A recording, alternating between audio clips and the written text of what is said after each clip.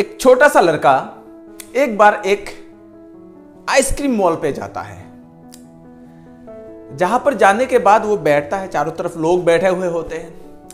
Waiter आता है, आने के बाद पूछता है, क्या चाहिए आपको? ये लड़का वेटर को बोलता है, आपके यहाँ पर जो चॉकलेट आइसक्रीम है, वो कितने का है? वेटर बोलता है, पचास रुपया।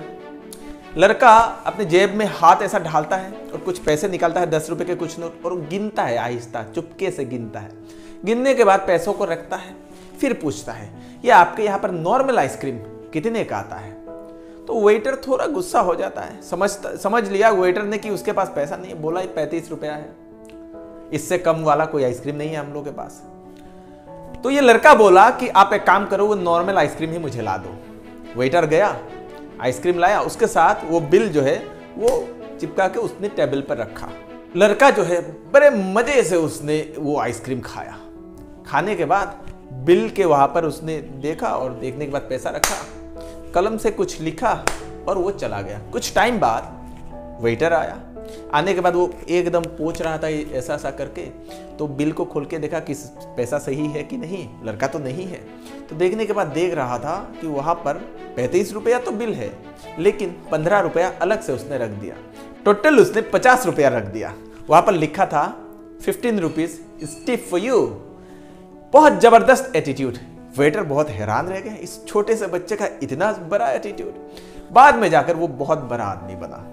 ये एटीट्यूड ऑफ़ फीलिंग रिच लोगों को और ज़्यादा अमीर बना सकता है। कभी भी अपने आप को कभी गरीब मत समझो। कभी भी अपने आप को कभी गरीब मत समझो। आप अगर गरीब समझते हो तो आप गरीब बन जाओगे। इफ़ यू फील रिच आप अगर रिच फील करते हो, अमीर फील करते हो, आप अमीर बन जाओगे।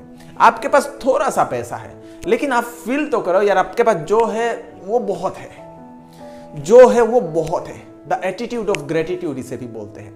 कृतज्ञ बने रहो। जो है उससे आप थैंक यू बोलो भगवान को। यार भगवान आपने ये तो दिया कम से कम। बहुत सारे लोगों को वो भी नहीं मिलता जो आपके पास है। जब आप ऐसा फील करते हो रिच फील करते हो, आपके पास जो है वो सफिशियंट है। ऐसा अगर फील करते हो, नहीं, बहुत है, मैं और कमाऊँगा, और मिलेगा जो है उसको और बड़ा बनाने की कोशिश करो। तो आप देखोगे, आप दुनिया में और ज़्यादा बड़े होते चले जाओगे। कहानी कैसी लगी कमेंट में ज़रूर बताइएगा। क्या आप ऐसा ही करते हैं? क्या आप गरीबों वाला एटीट्यूड रखते हैं? क्या आप अमीरों वाला एटीट्यूड रखते हैं? आज कमेंट में आज मुझे ज़रूर बताइएगा। आज ये कमेंट में लिखिए यस आई फील रिच क्या? यस आई फील रिच आप ये लिखिए। जब आप लिखेंगे तो आपके अंदर से ना वो रिच वाली फीलिंग्स आएगी। फीलिंग्स आपको वही रिच होने की तरफ़ आपको आपको आगे लेके जाएगा।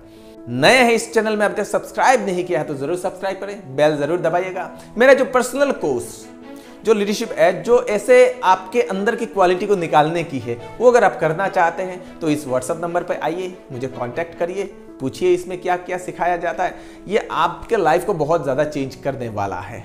आप सबका कोटि कोटि धन्यवाद। मेरे जो बुक्स नेटवर्क मार्केटिंग और सेल्स में कैसे मैं चाह दूँ आप अमीर बनना चाहते हैं, वो दोनों को अगर आप पढ़ना चाहते हो तो पढ़ सकते हैं। जो नेटवर्क मार्केटिंग और सेल्स में कैसे मचाया धूम उसका इंग्लिश वर्जन ई बुक में अवेलेबल है, जिसका लिंक मैंने डिस्क्रिप्शन में दिया हुआ है। अगर आप इंग्लिश में पढ़ना चाहते हैं तो उसको आप परचेज कर सकते हैं अमेजोन से।